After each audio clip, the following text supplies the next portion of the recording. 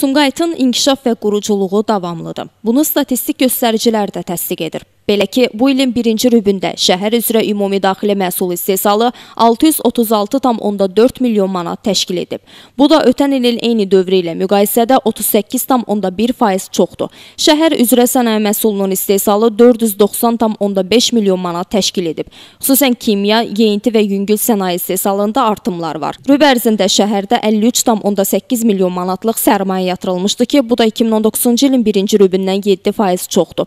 Bu dövrdə şəhərdə orta aylıq əmək haqqı 563,4 manat təşkil edib.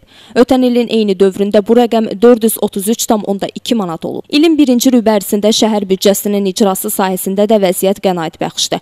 Belə ki, hesabat dövründə gəlirlər 9 milyon 524,8 min manata qarşı 11 milyon 38,5 min manat, yəni 15,9% çox olub. Şəhərdə abadlıq və quruculuq işləri də davamlıdır. Hazırda Sumqayıtda həyata keçirilən əsas layihələrdən biri Mehdi Hüseynzadə adına şəhər stadionunun yenidən qurulmasıdır. Sumqayıtın ən böyük ekoloji problemlərindən olan Acıdərə kanalının boruya alınması işləri davam etdirilir. Dövlət başçısının sərəncamına əsasən bir nömrəli şəhər tam orta məktəbi üçün 1800 şagird yerlik yeni binanın tikintisi də davam etdirilir.